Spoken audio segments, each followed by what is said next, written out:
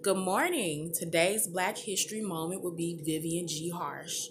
Um, remember to subscribe, comment, share. Tell me what you like. Also, follow me on Instagram. There should be a link there um, to go straight to my Instagram page. Question and research, all one word, to make everything just seamless and smooth. So today's Black History moment is um, Vivian G. Harsh. Vivian G. Harsh is the first Chicago public librarian um, at the Chicago Public Library. So Chicago Public Library has about 80 branches throughout the city, and the library is a very big staple. People come there because it's a resource is a resource for the community.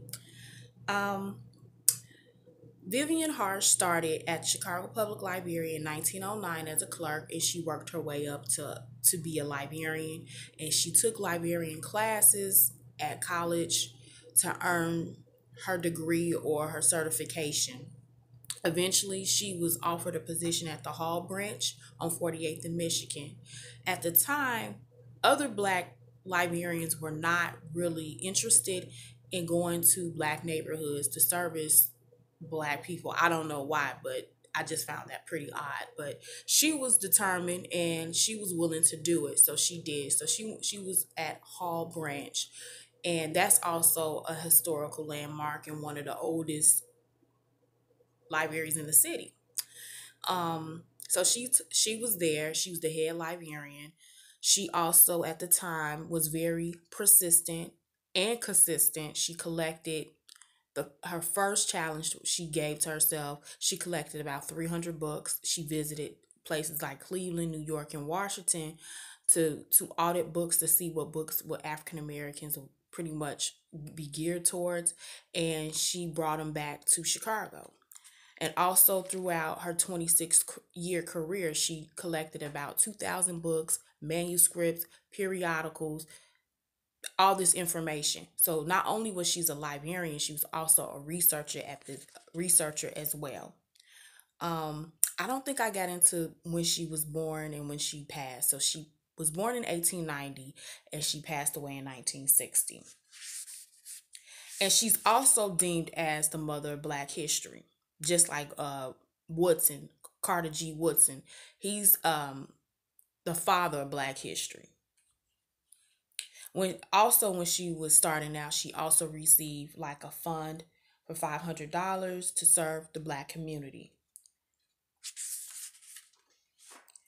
also another good point she mentored and had developed relationships with known writers, notable writers like Langston Hughes, Gwendolyn Brooks, and Richard Wright.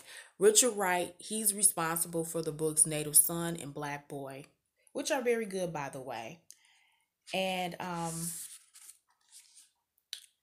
right now, currently, at the Carter G. Woodson branch on 95th and Halsted, there's a complete big section for Vivian, Vivian G. Harsh. It's, it's dedicated to her. It's been here for quite some time. And I believe it's there because she is the first black um, librarian. Um, so, and also she was a great researcher. And librarians are like researchers because you have to give accurate, you have to give credible, you have to give timely and statistical data to people who are searching for information that is needed. And the library library is not about just books. It's also a, a technology hub as well. So thank you for this Black History Moment with Vivian G. Harsh. Tomorrow will be somebody else different it will be Annie Malone. So tomorrow's Annie Malone. Um, and you'll get to hear more about her tomorrow. So thank you and have a blessed day.